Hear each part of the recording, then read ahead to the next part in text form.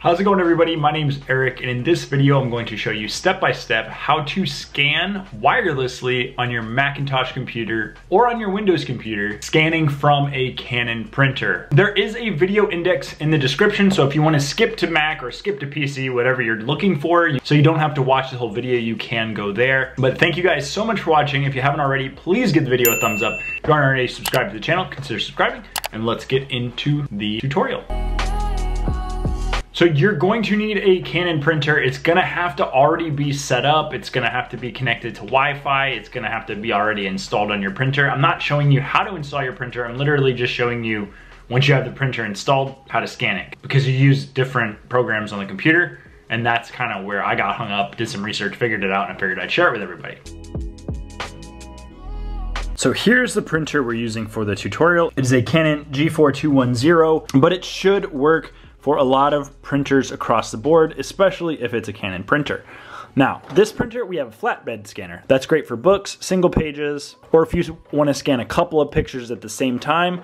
We also have this top document feed scanner, which is great for if you have a stack of papers that you want to feed and you don't want to have to change paper one by one. If you were to be scanning using the flatbed scanner, you would open this up, put your paper in, push the edge all the way back. There's an arrow in the back left corner. You want your paper to be all the way that way and all the way that way, touching that corner. And then you'll close the top and get it ready to scan. We're actually going to scan with that document feed scanner. So we're gonna place our stack of papers face up in the scanner. It should beep, meaning that it's loaded, and then I will see you guys on the computer. Once you're on your computer, your printer is already installed, you've already printed to your computer, works perfectly fine. I'm gonna go to your Finder up here and type in image capture. That is the secret program that if you didn't know, then you'd be really frustrated not knowing how to scan on your Mac. So here it says shared one. We're going to hit this arrow. It brings a drop down to Canon G4010, whatever series yours is. Could be different. And we're going to click on that. And that's going to select that printer and that scanner combo as what we're going to be using for this image capture program. Okay, once you select your scanner, it gives you these quick options. You can pick where you want the scan to save to, and desktop is just easy so you can see it. What's the size of the paper if you're using the document feeder or the flatbed, and then you can just hit scan. Or if you want more customizable options, you go to show details, and then you get all of these other options. So flatbed document, kind, text, black and white, or color.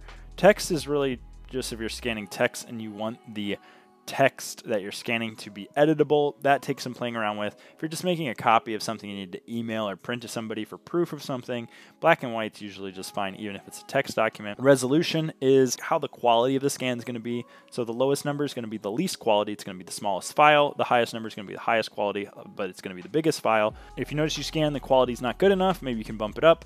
Or if you're scanning and the file is too big to send, maybe you can bump it down. This is the size of the paper that you're going to be scanning, orientation, where you're going to be scanning it to. We saw that already. What you want to call it. So you could call it work docs or whatever you want to call it. The format is kind of important. If you're going to scan it into a JPEG, it's going to be a picture.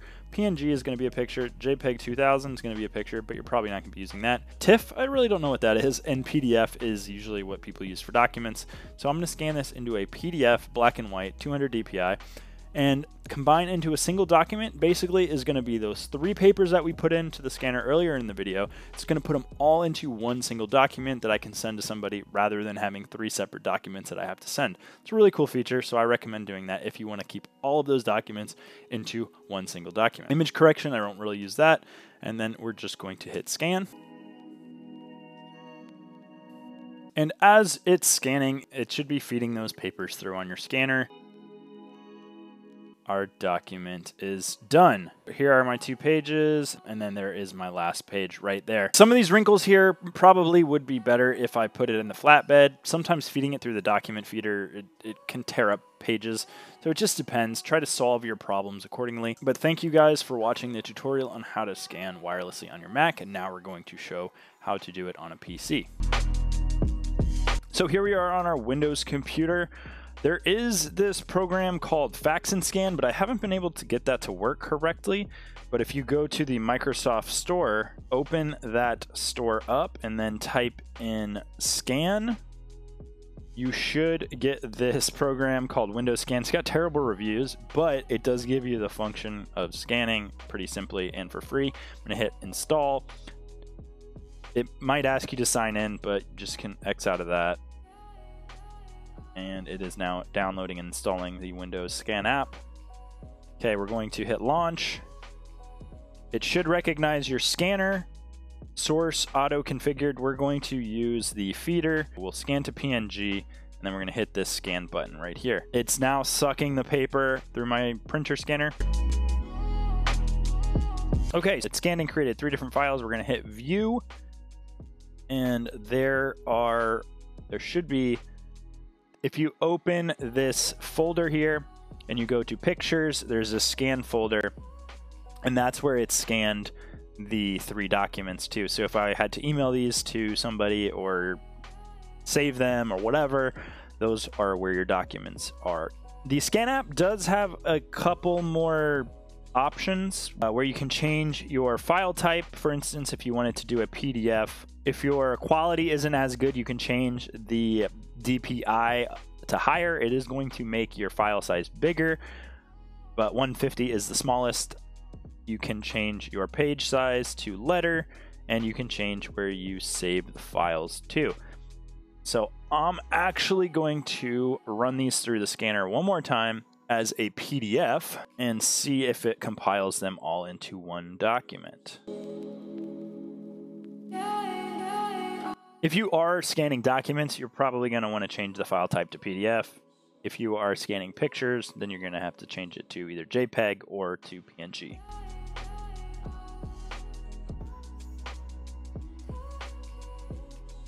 Okay, so if we go back to that folder, it did indeed scan all three into a PDF compiled. Look at that. Absolutely gorgeous. So that's a little bit easier for documents than doing it how we did earlier. That is one way to scan on a Windows computer. I'm sure there's more programs and ways out there. This way we just seemed like very simple, very easy, very free. And I do appreciate everyone for watching. If you haven't already, please give the video a thumbs up. If you aren't already subscribed to the channel, consider subscribing. If you have any other technical problems you want to maybe see solved, let me know about it in the comment section, and I will talk to you in the next video. Bye.